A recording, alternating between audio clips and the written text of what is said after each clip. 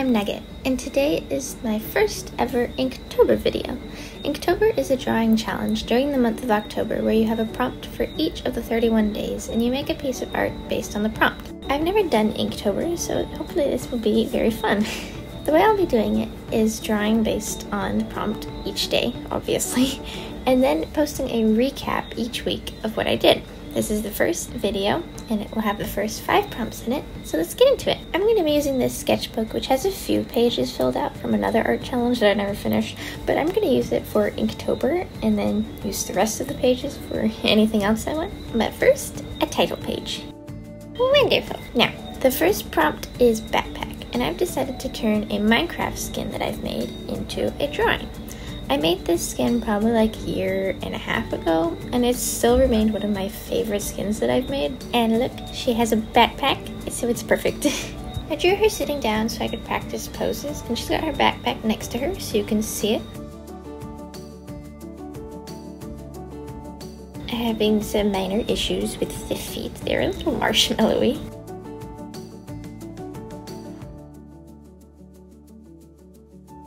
Do do do do do flower crown. I got away with hiding one of the arms behind the backpack, but we're here for improvement and growth, so I drew her hand up and waving, and after a couple attempts at proportions, I was happy with that. Time for ink! I'm going to be outlining with my pens, but I'm not going to be making the whole drawing in black ink because if I did 31 of those drawings, I would get really bored. I need color. And although Inktober started out as an ink only challenge, over the years the rules have loosened up quite a bit, so this is fine. So that was a marshmallow feet.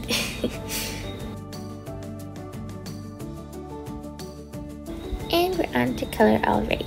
I wanted this very specific shade of pink, so I tried like mixing the colors of my alcohol markers. Uh, I think it kind of worked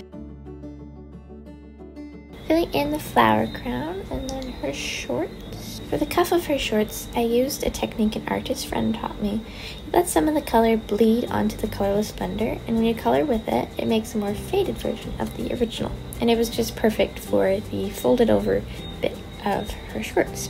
Filling in her skin and shading with purple, I love doing this with the light purple. It really just makes it feel more like skin and filling in her eyes, much needed detail, and her face. Filling in her hair and then the backpack, which is a nice brown. And then adding a shadow with the gray, adding the prompt at the top and my signature, and that is day one done.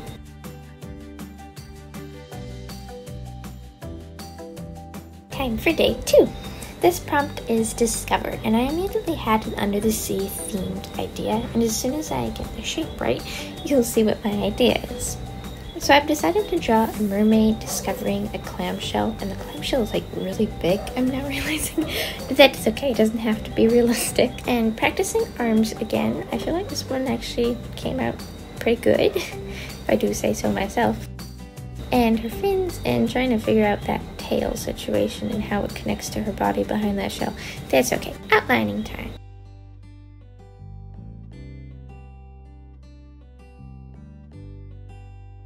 I really like how I did her hair. It's kind of like floating in the water, like how it should. I went with orange hair. I just feel like red and orange are very normal colors for a mermaid. I don't know. At this point, I decided to take off the gloves because knowing me, I will most certainly get marker stain on them, so that's probably a good idea. Filling in her skin and then coloring the clam, which was actually really fun to color. I don't know why. I guess I've never done a clam before, I don't think. And the pearl, it came out a little darker than I was hoping, but it's okay. Then filling in her tail with these really rich dark greens and blues, I thought it was so nice. and using the same technique with the colorless blender to get the translucent effect on her tail fins. And then I thought it needed something, so I added some like scales and sparkly bits with my white and silver Poscas and I feel like that really made it like all shimmery and shiny and I really like the effect that it gave. And that is day two finished. Also, I forgot my signature, but I did go back and add it later. Day three, and today's prompt is boots. Now I've decided to redraw an old digital drawing of mine of these little bear boots. I drew this on Spark when Spark was still around, and I decided to draw it in my current skill set. I went with a thicker outline, you know, those little fuzzies and the little bear faces. I think it's quite cute. I was having trouble figuring out how to draw the bottom of the foot. It looks a little off a perspective and all that is hard.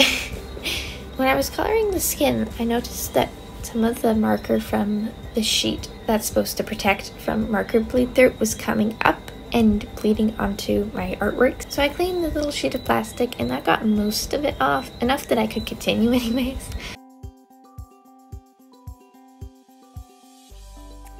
filling in the bears. I love this dark brown color scheme. I just love dark browns. I think they're really pretty.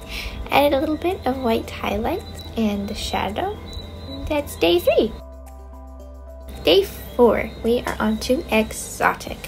I immediately thought of one of my favorite birds, the quetzal. It's this little bird that lives in Guatemala along with other places in South America and I think it's exotic. It seems very exotic to me. And they have these really long tail feathers and they're the most adorable bright color scheme. So that's what I decided to draw today. The tail feathers, I don't think they actually curve like that, but I wanted to keep it all in the same page, so I made them curve a little bit. May not be particularly accurate, but the outlining and then coloring. So they have red bellies and then the rest of them is a variety of different greens. It's kind of Christmassy, but also it doesn't remind me of Christmas, funny enough. I guess it's just different colors. It's not Christmas green and Christmas red. It's more like emerald green, along with a little bit of blue, I've noticed as well. And I think they're just so cute and so pretty. Tail feathers, trying to make them look feathery, because that's what they should look like. And filling in the little branch she's sitting on. And that's day four. Finally, we have day five binoculars. So I got inspired by something I saw on Pinterest, but with my own spin to it, that's what I've done. So it's this girl holding up binoculars and this like little sky scene in the binoculars. I just thought it was really cool. And I actually really like how this one came out, spoiler alert. I gave her nice fluffy hair and a sweater. And it's time for the outlining, which I went a little bit different. I gave parts of it like a thicker line and I really like the effect of it. I might try some more of it next week.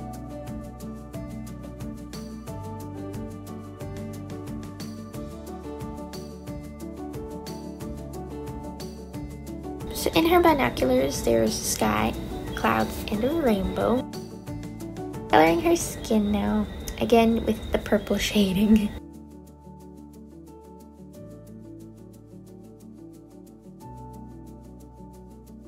The camera is really wobbly. Why is it so wobbly?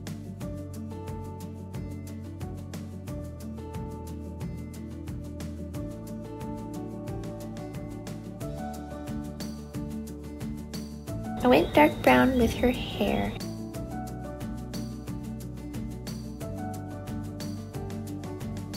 Using sky blue for her sweater and the sky, how fitting.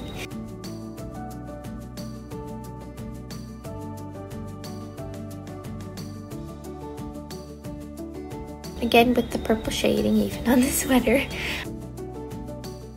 I did that and panicked, but then I put some white Posca over it and hoped that once it dried I could go over it and it would be fine. Moving on to the binoculars, filling in the sky and the fluffy clouds and it's time for rainbow. So I went kind of out of order in the coloring just so I could get all the little sections of color evenly or as evenly as possible do, do, do, do. Coloring in binoculars. Gray, nothing exciting there. I added some shiny in her hair, the binoculars reflection, and that is day five. Wait, when did I fix the neck? Did I fix the neck? I must have deleted that clip. Well, I fixed the neck.